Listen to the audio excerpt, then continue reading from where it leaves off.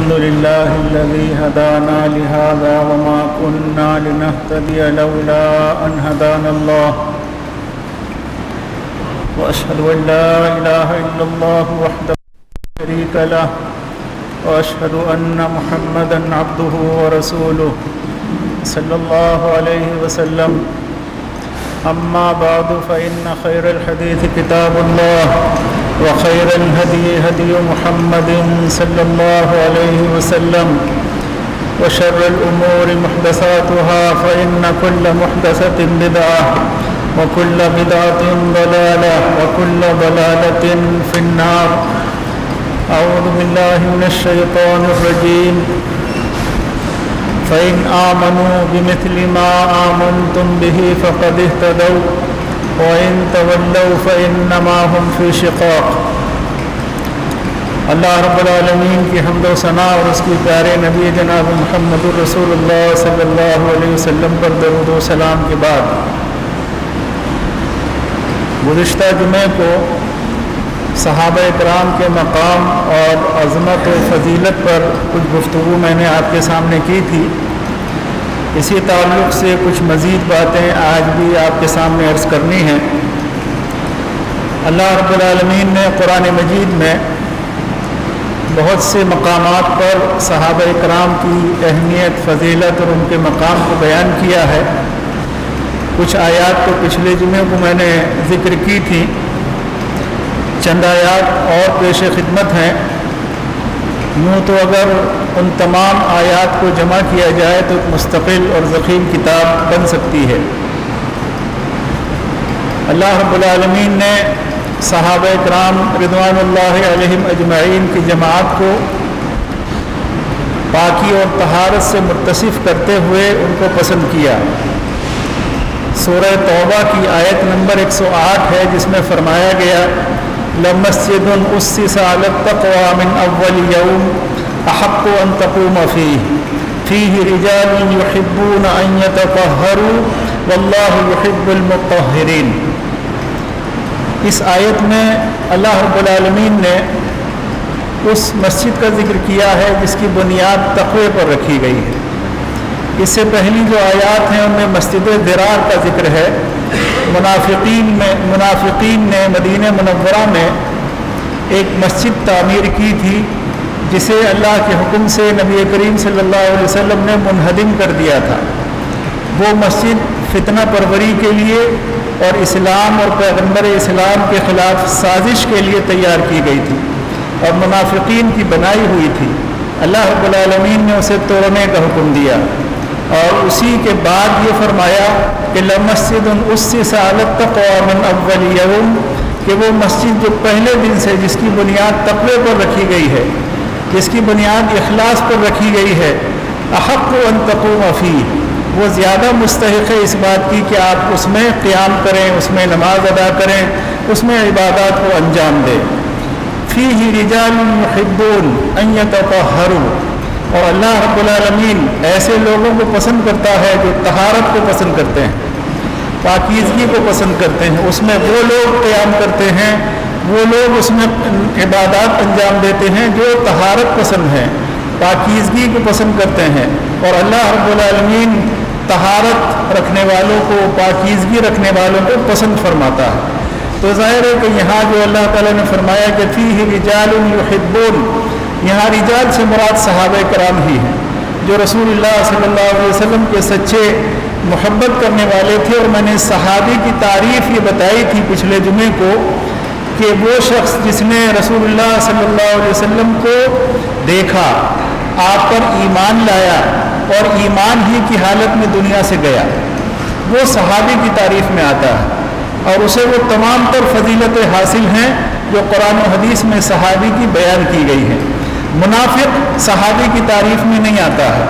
मुशरक और काफिर सहाबी की तारीफ़ में नहीं आता है।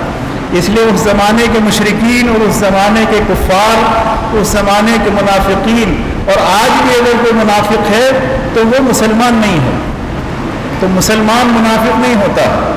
तो इसलिए सहाबी की तारीफ़ यही है कि जिसने सल्लल्लाहु अलैहि वसल्लम को देखा आप पर ईमान लाया और ईमान ही की हालत में उसका इंतकाल हुआ।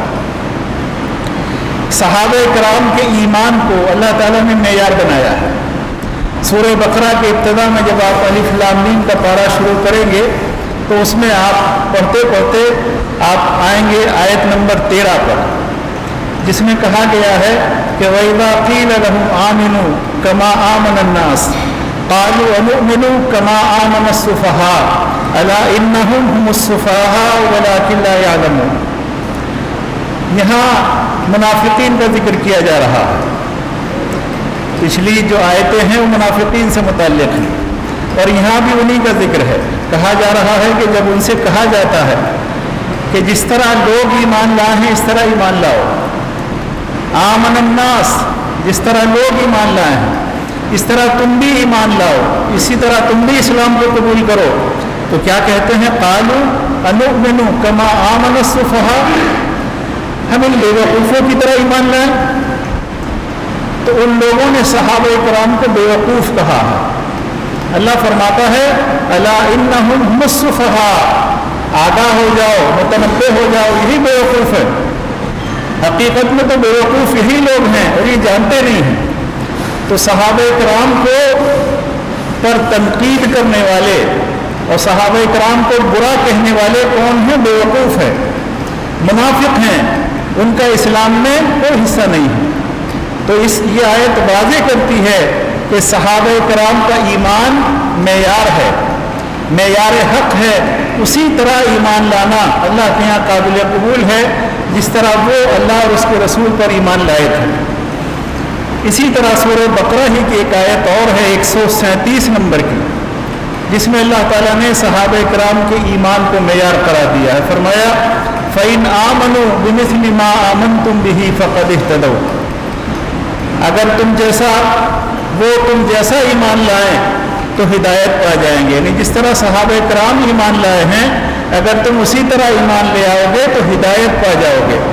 तो अल्लाह रबालमीन ने सहाब कराम के ईमान को इन दोनों आयात में जो मैंने अभी पढ़ी है सूर्य बकरा की मैार करार दिया है।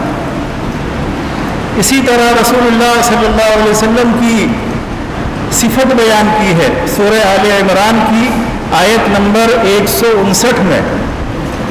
और उसी तरह सहाब कराम की भी सिफत, सिफात बयान की गई है। और सहाब कराम की बड़ी, बड़े मकाम को और बड़ी अहमियत और अजमत को बयान किया गया है। अल्लाह फरमाता फ़बिमा रहमतिन मिनल्लाह वलव कुंत फज़्लन गलीज़ल क़ल्बि लनफ़द्दू मिन हौलिक फ़ाफ़ अनहुम वस्तगफिर लहुम वशाविरहुम फिल अम्र फ़ैदा अज़मत फ़तवक्कल अलल्लाह इन्नल्लाह युहिब्बुल मुतवक्किलीन अल्लाह ताला फरमाता है कि अल्लाह की ये रहमत है कि उसने आपको नरम दिल बनाया है ए मोहम्मद सल्लल्लाहु अलैहि वसल्लम ये अल्लाह ताला की रहमत है कि उसने आपको नरम दिल बनाया है अगर आप सख्त ज़बान और सख्त दिल होते तो ये लोग आपके करीब ना आते। कौन लोग? अरब के लोग, मक्का और मदीना के लोग, आपके करीब ना आते। आपकी नरम दिली, आपके अखलाक आलिया और आपके बेहतरीन सलूक की बुनियाद पर ये लोग आपके करीब आए हैं। आपके की दावत को उन्होंने कबूल किया है। तो आपको चाहिए क्या चाहिए? वाफ़ अनहुम आप इनको दरगुजर कर दिया कीजिए। यानी आम माफ़ी का ऐलान फरमाया कीजिए इनके लिए। और इनके लिए इस्तफार किया कीजिए। वशाविर हम फिल अम्र, और इनसे मशवरा किया कीजिए। सहाब कराम मुशीर हैं सल्लल्लाहु अलैहि वसल्लम। अल्लाह के रसूल सल्लल्लाहु अलैहि वसल्लम के मुशीर थे सहाब कराम। अल्लाह का हुक्म है ये, अपने नबी को आप उनको दरगुजर किया कीजिए, उनको माफ़ कर दिया कीजिए और उनके लिए दुआ फरमाइए इस्तफ़ार कीजिए। वशाविर हम फिल अम्र, और उनसे मशवरा किया कीजिए। फ़ैदा अज़म तो फतवक्ल अल्लाह और जब आप किसी मामले में पुख्ता हो जाएँ, इरादा पुख्ता कर लें तो फिर अल्लाह पर तवक्ल कीजिए। मशवरे के बाद जिस फैसले पर आप पहुँचे आपका दिल मुतमिन हो जाए तो अल्लाह पर भरोसा कीजिए। ये तालीम दी गई है हमें कि हम दुनिया में रहते हुए तमाम तदाबीर को इख्तियार करें। तमाम मामला जो दुनियावी एतबार से मरूफ हैं, इस्लामी शरीयत के ख़िलाफ़ नहीं हैं, उनको हम इस्तेमाल करते हुए अल्लाह रबालमीन पर भरोसा करें और उसी से कामयाबी की दुआ करें। यही इस्लाम की तालीम है। इसी तरह अल्लाह रबालमीन ने कुरान मजीद में सूर आराफ की आयत नंबर एक सौ सत्तावन में फरमाया आमनु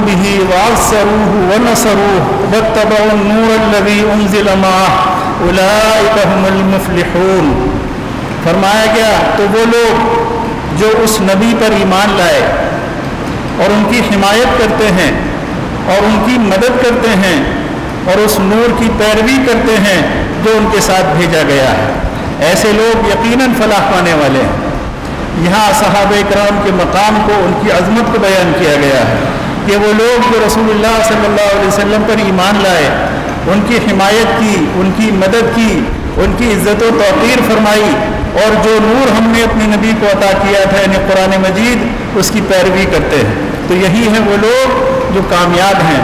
तो सहाब कराम को अल्लाह ताला ने कुरान मजीद में कहीं उलाए कहमुलमफलून कहा है, कहीं उलाए कहमुलराशिदून कहा है, कहीं उलाकून कहा है। तो मुख्तलिफ़ नाहिए से सहाब कराम के मकाम को, उनकी अजमत को अल्लाह ताला ने बयान किया है। इसी तरह और भी बहुत सी आयात हैं, जिनमें अल्लाह रबालमीन ने सहाब कराम का ज़िक्र किया है। सूरह तहरीम में अल्लाह ताला ने फरमाया, क़यामत का ज़िक्र किया है। कि अल्लाह ताला क़यामत के दिन अपने नबी को और उनके साथियों को रसवा नहीं करेगा। क़यामत के दिन अपने नबी को यौमलाफिल्लाबीन आमन अल्लाह अपने नबी को और उनके साथ ईमान वालों को क़यामत के दिन रसवा नहीं करेगा। इसी तरह अल्लाह रबालमीन ने कुरान मजीद में और भी मकाम पर सहाब कराम का ज़िक्र किया है। नबी करीम सल्लल्लाहु अलैहि वसल्लम की अहादीस में भी मकाम सहाबा को बयान किया गया है। सहाबा की फजीलत को बयान किया गया है। हज़रत अब्दुल्ला इबन उमर तु फरमाते हैं, इबन माजा में एक सौ बासठ नंबर पर ये रिवायत है और अल्लाबानी और शेख ज़ुबैर अली जई दोनों ने इसको हसन दर्जे की करार दिया है। फरमा तसुबु असहाब महमदिन सल्लल्लाहु अलैहि वसल्लम, फला मुकाम अहदिहिम खैरुम अमली अहदिकुम उमरा। मोहम्मद सल्लल्लाहु अलैहि वसल्लम के साथियों को बुरा मत कहो। नबी करीम सल्लल्लाहु अलैहि वसल्लम के सहाबा को बुरा भला मत कहो। एक सहाबी का एक घड़ी एक घड़ी नबी करीम सल्लल्लाहु अलैहि वसल्लम के साथ गुजारना तुम्हारे सारी ज़िंदगी के अमल के से बेहतर है।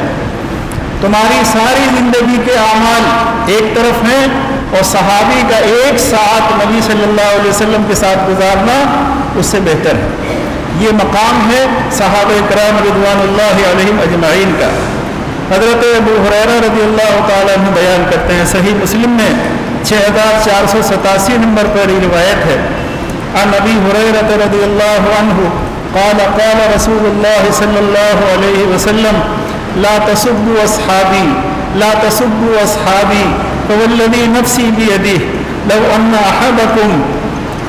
अनफ़ मिसल उहुदिन ज़हबन मा अदरक मुद्द अहदिहिम फला वला नसीफ़ा फरमाया नबी करीम सल्लल्लाहु अलैहि वसल्लम ने कि मेरे सहाबा को बुरा मत कहो मेरे सहाबा को बुरा मत कहो कसम है उस ज़ात की जिसके हाथ में मेरी जान है अगर तुम में से कोई शख्स बहुत पहाड़ जितना सोना अल्लाह ताला के रास्ते में खर्च कर दे तो वो उन, यानी सहाबा में से किसी एक के दिए हुए एक मुद, बल्कि उसके आधे के बराबर अजर नहीं पा सकता।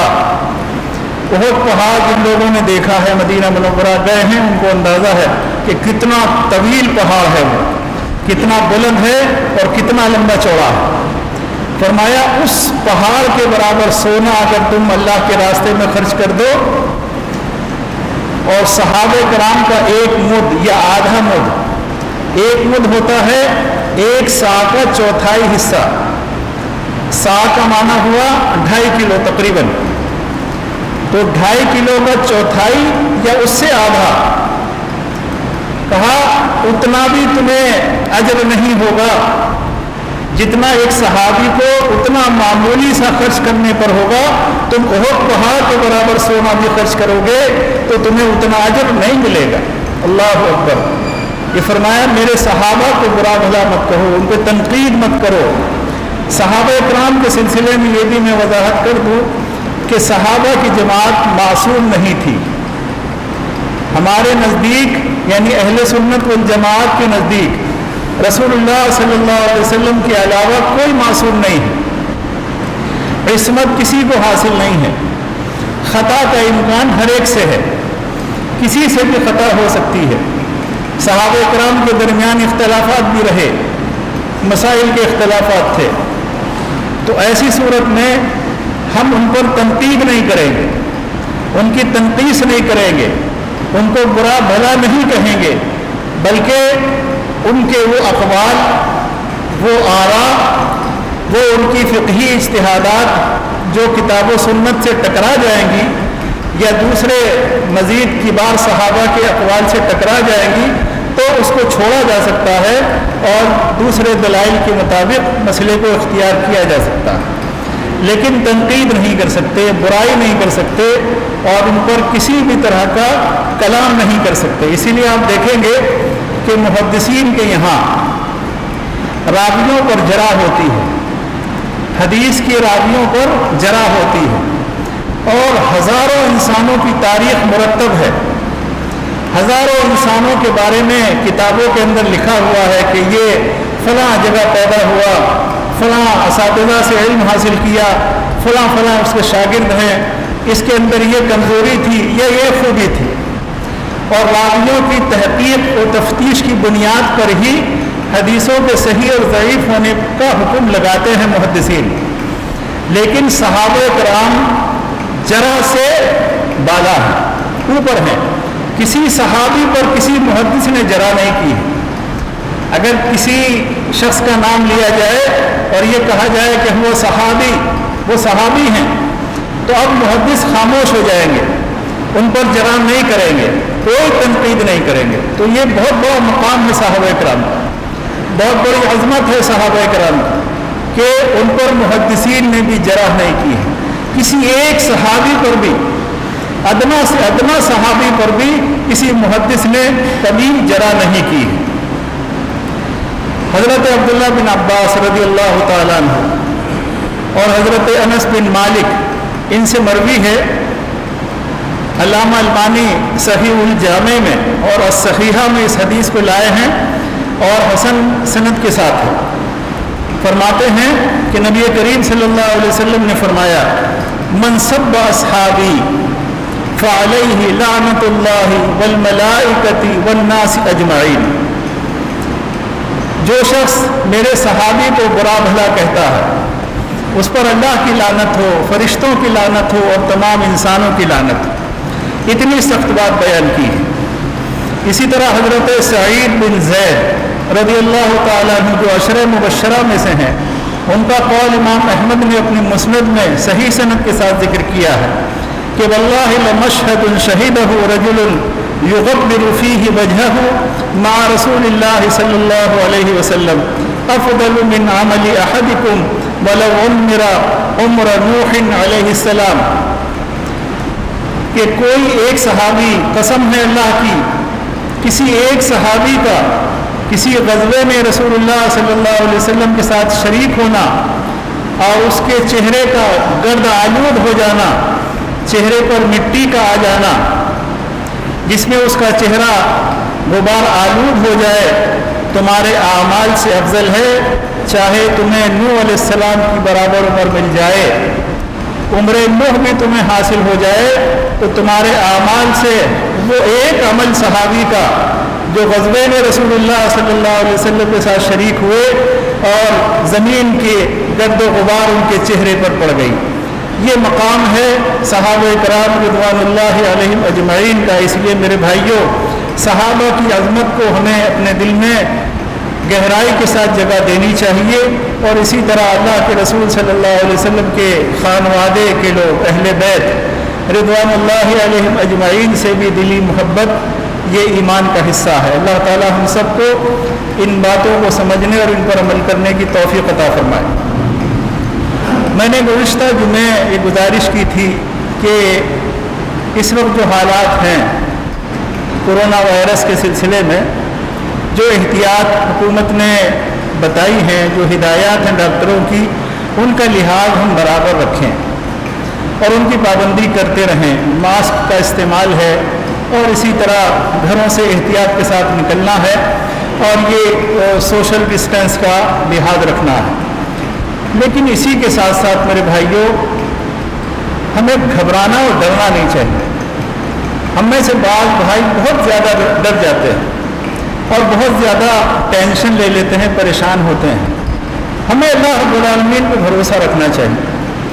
तमाम तर एहतियाती तदाबीर का लिहाज रखते हुए अल्लाह पर तवक्ल करें, अल्लाह पर भरोसा करें। आप देखें इस वक्त मुल्क में पिछले हफ़्ते तो मरीज़ बढ़ रहे थे। एक दो दिन से तादाद घटना शुरू हुई।